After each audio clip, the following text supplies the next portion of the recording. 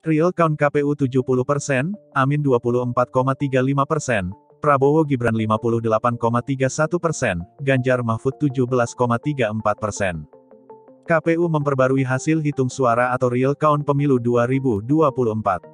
Suara masuk hingga pagi ini telah mencapai 70,47 persen. Dilihat detikcom dari situs pemilu 2024.kepu.go.id, Senin tanggal 19 Februari tahun 2024, pukul 7.15 waktu Indonesia Barat, data yang telah ditampilkan berasal dari 580.097 TPS atau 70,47 persen dari total 823.236 TPS yang ada di Indonesia. Pasangan calon presiden dan wakil presiden nomor urut 2, Prabowo Subianto Gibran Raka Buming Raka, unggul dengan perolehan suara di angka 58,31 persen.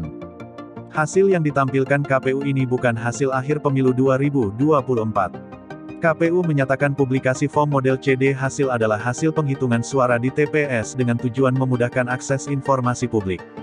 KPU juga menyatakan penghitungan suara yang dilakukan oleh KPPS, rekapitulasi hasil penghitungan suara dan penetapan hasil pemilu dilakukan secara berjenjang dalam rapat pleno terbuka oleh PPK, KPU Kabupaten Kota, KPU Provinsi, dan KPU berdasarkan ketentuan peraturan perundang-undangan.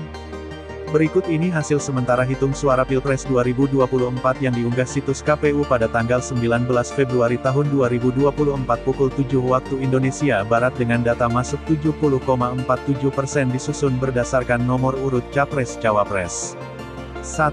Anies Baswedan Muhaimin Iskandar, 22.763.405, 24,35%. 2. Prabowo Subianto Gibran Raka Buming Raka, 54.505.337, 58,31 persen. 3. Ganjar Pranowo Mahfud Mat, 16.213.499, 17,34 persen.